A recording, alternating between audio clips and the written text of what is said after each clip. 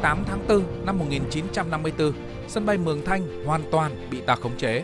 Địch chỉ còn cách thả dù.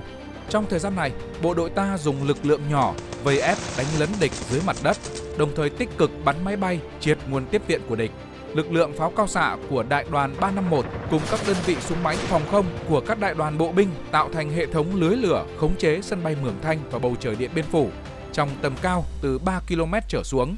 Máy bay địch phải thả dù ở độ cao trên 3 km nên 1 phần 3 số dù đó đã rơi vào khu vực trận địa của ta. Tình hình tiếp tế khó khăn đến nỗi cô Nhi phải điện cho Nava báo cáo kết quả thả dù tiếp viện cho Điện Biên Phủ ngày 28 đêm 28, ngày 29 đêm 29 chỉ là con số 0.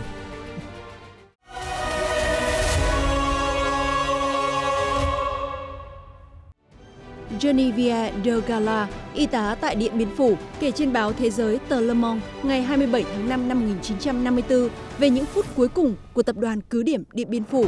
Lần cuối cùng cô ta nhìn thấy tướng Đờ Cát là vào ngày hôm trước ngày Điện Biên Phủ sụp đổ. Trong hầm của sở chỉ huy Ginon, chôn sâu trong đất, vị tướng nước da hơi tái, vẫn bình tĩnh lạ lùng.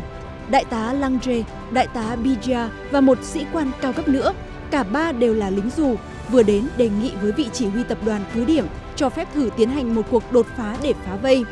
Tướng được các đồng ý và họ dự định sẽ tiến hành cuộc phá vây tuyệt vọng đó vào ban đêm. Đó sẽ là một trận chiến đấu rất gay go bởi vì lính dù đã mệt mỏi sau 2 tháng chiến đấu liên tục, nhưng dự định đó đã thất bại. Ngay hôm sau, ngày mùng 7 tháng 5 là ngày Điện Biên Phủ thất thủ. Một hội đồng chiến tranh đã được triệu tập vào buổi sáng, gồm những sĩ quan chủ chốt của sở chỉ huy. Cô nữ y tá cũng được tham dự để góp ý về các vấn đề vệ sinh y tế.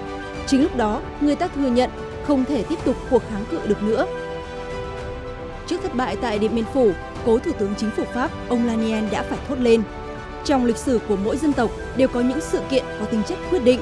Những tên gắn liền với chúng, cả những ngày tháng cũng thế, chứa đựng một ý nghĩa vượt qua bản thân các sự kiện đó. Sáng sủa hay đen tối, trước mắt mọi người, những sự kiện đó đều tượng trưng cho số phận tốt hay xấu của nước nhà. Điện Biên Phủ là một trong những cái tên như thế. Có thể nói rằng chiến thắng Điện Biên Phủ là kỳ tích và một bước ngoặt đối với Việt Nam chấm dứt cuộc kháng chiến 9 năm chống thực dân Pháp. Đây là lời khẳng định của đạo diễn nhà làm phim người Pháp ông Daniel Roussel. Ông cũng chính là nguyên phóng viên thường trú báo Nhân đạo của Đảng Cộng sản Pháp tại Việt Nam.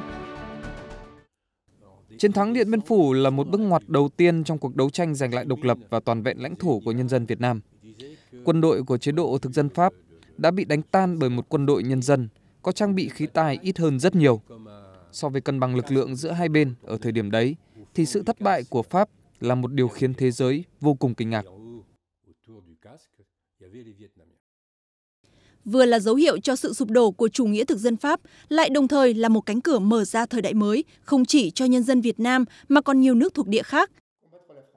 Rõ ràng chiến thắng Điện Biên Phủ là thắng lợi vĩ đại của Việt Nam và cũng là thắng lợi chung của tất cả các dân tộc bị áp bức trên thế giới.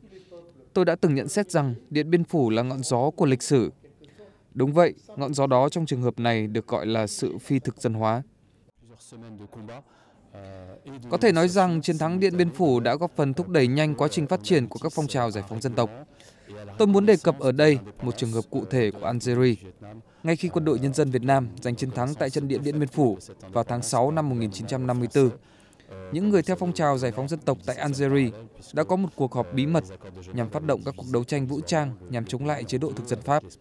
Điều này cũng tạo ra những làn sóng tương tự đối với những người theo chủ nghĩa dân tộc tại Tunisia và chủ nghĩa dân tộc tại Maroc.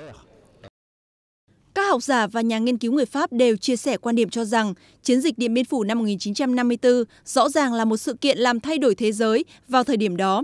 Trận chiến này đã làm dung chuyển hoàn toàn địa chính trị khu vực và thậm chí toàn cầu